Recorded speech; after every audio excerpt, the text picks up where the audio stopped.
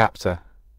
Demon Limited Hunter Chapter Abyssal Sea Monster Magic Knight of Merchant Act Chapter The Abyssal Sea Monster In the joint practical evaluation, if the player survived for a certain amount of time, a demon sleeping in the deep sea in the form of dark mana awakened, which was the beginning of Act, Chapter, and Fairy Tale, who was a predator in the exam, headed to Ultra Sea where the abyssal sea monster had appeared. As a bearer of the light element, he felt it was his personal mission to defeat the demon. A sense of justice to protect people also played a role, however, in this world. and couldn't become a predator like in the original scenario because I took first place in clasp, pushing him out, anyway. Since the abyssal sea monster could be confronted without the power of the light element, it didn't matter. Whether Ian was here or not, the powerful mana of the abyssal sea monster swallowed the surrounding mana, causing chaos like it with signal interference and noise. It was the effect of the passive skill mana drain, a skill that could only absorb mana weaker than its own. For reference, Ian, with the light element, was immune to such a power, anyway, in Magic Knight of Merchant. Once Ian reached the Ultra Coast, the Abyssal Sea Monster's minion and mid-boss, the Abyssal Queen, flew in like a bullet and activated the effect of throwing of the Abyssal Queen, a more powerful skill than Mana Drain. The Abyssal Sea Monster's passive skill was Mana Leech. It was an ability that sucked the mana and life force of a desired target, and could only be used against those weaker than the Ring Wearer. The range of effect was much more limited compared to Mana Drain, so only those on the Ultra Coast suffered its effects. As a result, the exam proctors and first-year students who reached Ultra Coast had their mana and stamina sucked away in an instant. The ring's power activated in proportion to how much it devoured. Even in that instance, Ian, being of light element, was immune to mana leech. The mission of the Abyssal Sea Demons was to defeat in Fairy Tale. To fulfill that mission, the Abyssal Queen absorbed the activated ring into her body, gaining even greater power. Originally, the scenario was that in angered by the sight of the exhausted first-year students, would fight against the Abyssal Queen.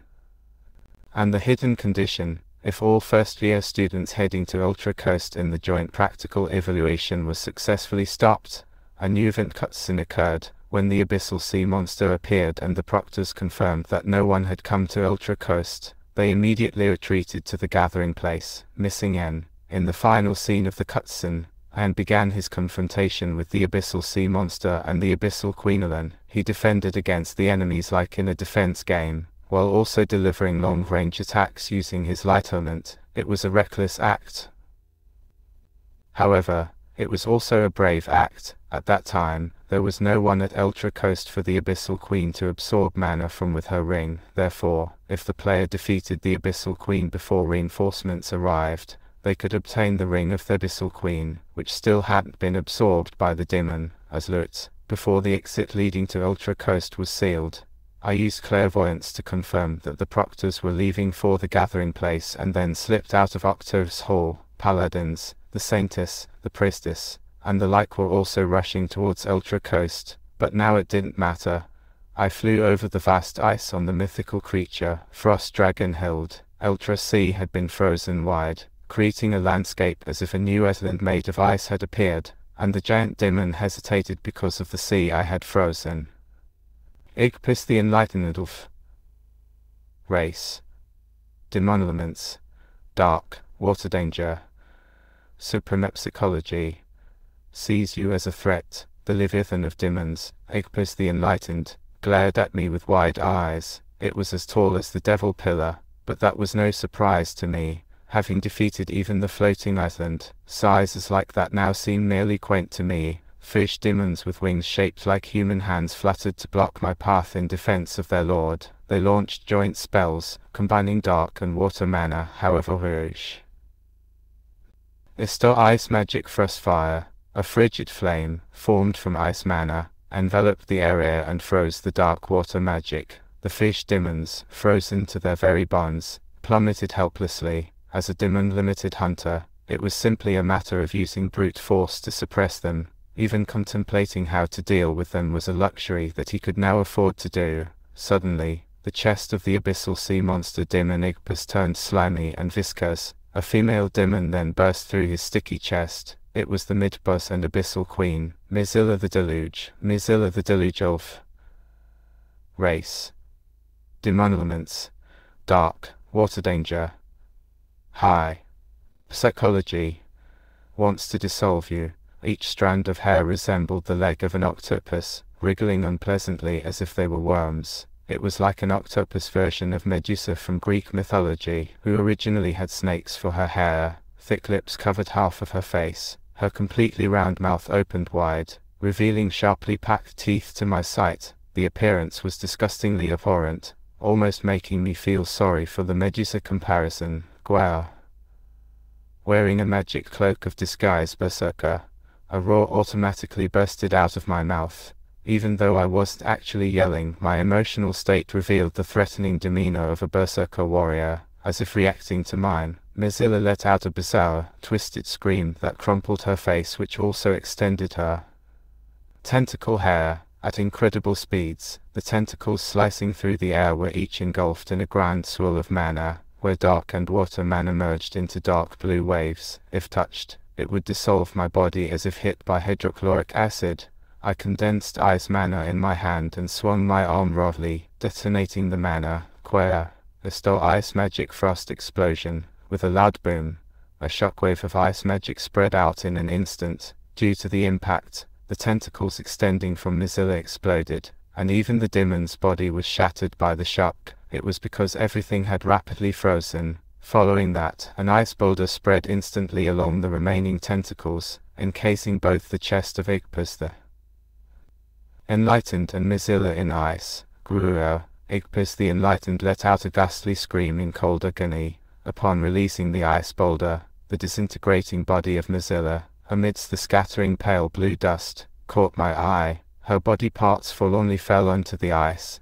I kicked off Hild, leaping towards Mizilla, and grabbed onto the gills in the chest of Igpas the Enlightened. Mizilla, drooping lifelessly, then turned into grey dust and vanished into nothing, as something small and sparkling was about to fall from the spot.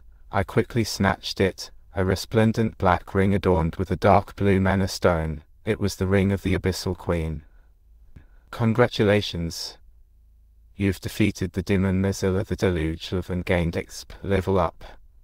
Your level has increased to you have gained stat points due to the effects of the unique trait Rapid Growth you have obtained the look ring of the Abyssal Queen, or task completed. Now, only the giant abyssal sea monster Demon, Igpas the Enlightened, remained. It twisted its head unnaturally to look down at me. Its enormous head casted a wide shadow. The heavy and damp dark mana settled down. It opened its round mouth and deployed several black wave magic circles, each meters in diameter. It spat out blue-like purple saliva while holding on to its chest gills and looking at the scene. I condensed ice mana in my right hand. The formula for the star magic frost explosion floated above, Hild, when I conveyed my thoughts to my familiar, Hild she roared threateningly and deployed a pale blue magic circle towards Igpas, Guru, Gwe, now. At that moment, Igpas and my berserker roars collided. To the south, Astria, the second year second seat of the magic department, was assigned the role of a predator during the joint practical evaluation. As soon as she sensed the abyssal sea monster's manner, she exited Octave's hall and flew towards the south of the island. While fighting the incoming army of fish demons, she simultaneously healed the combat troops using plant magic. It was exactly as prearranged with Isaac, anticipating the defense system of Merchant Academy against the demons he instructed Kaya to go south and defend the academy in case of a demon appearance. The combat troops fighting the demon forces admired Kaya, surrounded by wind and plant mana. Her appearance with her light green twin tails and fluttering uniform and cape resembled a holy fairy. The reason she was called the Wizard of the Emerald Fairy was self-explanatory. To the west, in the direction of the Arkan Sea, a massacre was happening with the sound of clear ringing. Waves of starlight covered the sea, and brilliant beams of starlight ruthlessly pierced the sky and the sea. Tremendous mana created a swarm of rainbow-colored stars, mercilessly annihilating the fish demons. At its center a third-year female student of the magic department, Dorothy Hartnova, with lavender hair and a witch's hat, floated among the numerous stars. She had a carefree expression, To the north, dazzling sword energy and various elemental magics were rampant. To Demons, even an inch of approach wasn't allowed. The Imperial Knights skillfully countered the Demons' magic, securely defending the north. And to the east, towards the Ultra Sea, side the top seat of the first years of the magic department, a girl with jet black hair, Priestess Maya, exited through Octave's hall leading to Ultra Coast. Since the exit was somehow shattered, it was very easy to get out. This Ismaya couldn't help but laugh upon seeing remnants of ice mana on the broken door lying about. Kaboom! The sound of magic clashing, the roar of monsters. Looking up, she saw a giant figure confronting a massive demon on Ultra Sea now turned into an ice sheet, alongside a mysterious white dragon. At that moment, Maya's eyes sparkled like shooting stars, and her face filled with excitement. Her heart raced uncontrollably. It must be. Maya ran towards the sandy beach. A cold wind blew, Maya conjured a light flame under her feet to prevent herself from falling on the frozen sandy beach. In front of the SEC, Maya gazed at the man she had been searching for and exclaimed in a moved voice, she was certain, the person who broke the entrance of Octave's hall, the one who froze the sea, the one confronting that bizarre demon, immense manner that felt like it could crush you even from afar. He was the protagonist of the heroic tale that captivated Maya. He was undoubtedly the nameless hero, my prince. The sight of the nameless hero fighting pounded Maya's heart like a drum. Her mouth gaped open in awe. Near the Ultra Coast sandy beach, behind a black rock, the spade paladin secretly observed the situation. Soon, Saintess Bianca also emerged from the exit. She caught her breath upon witnessing the nameless hero fighting in the Ultra Sea. His roar and coldness spread fiercely in all directions. The giant humanoid demon poured dark and water spells towards the nameless hero, but the hero, along with the white dragon presumed to be his familiar, unleashed fast ice spells, neutralizing everything freezing, and shattering the enemy repeatedly. Each time the hero swung his fist, the air vibrated, and a fierce wind pressure surged. It was a one-sided slaughter, the massive, powerful demon was helpless against the overwhelming force.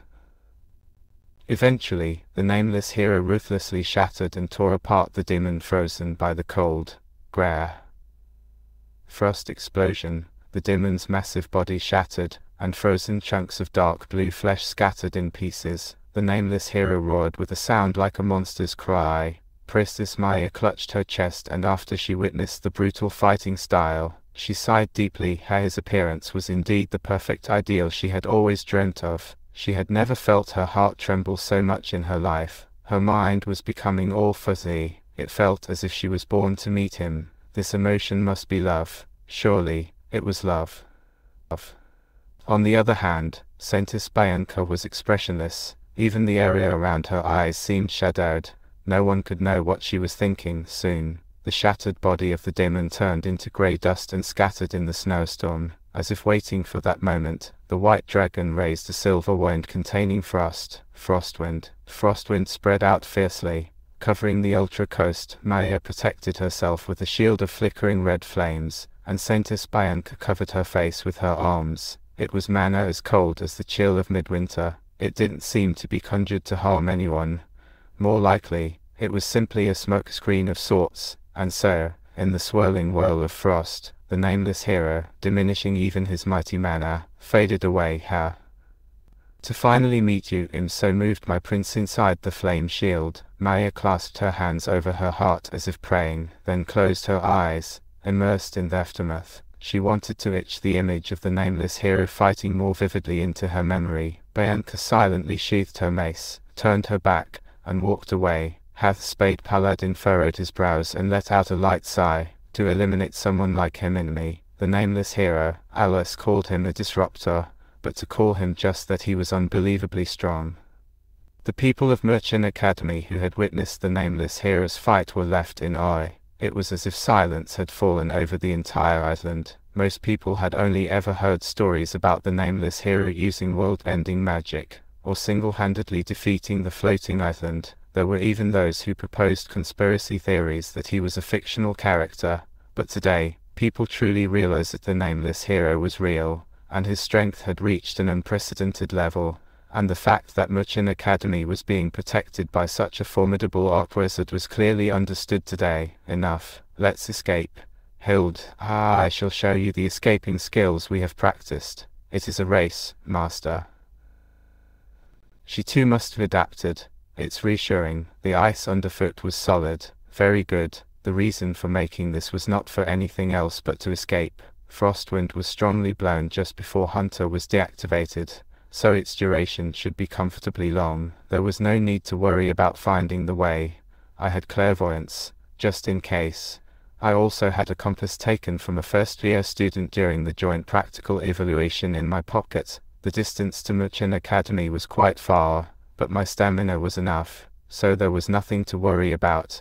I still had some leftover mana, so I could maintain the summoned state of the baby dragon form of Hild for quite a while. She was there to raise Frostwind at any time in case of emergency. Frostwind, being treated as my magic, didn't particularly feel bothersome. I was probably the most free in this wind, Hild and I cut through the raging cold and ran at full speed. It was the same ending as always.